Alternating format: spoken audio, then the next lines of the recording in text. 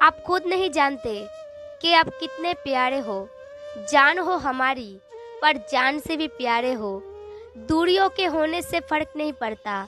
दूरियों के होने से फ़र्क नहीं पड़ता, क्योंकि तुम कल भी हमारे थे और आज भी हमारे हो और आगे भी हमारी ही रहोगी।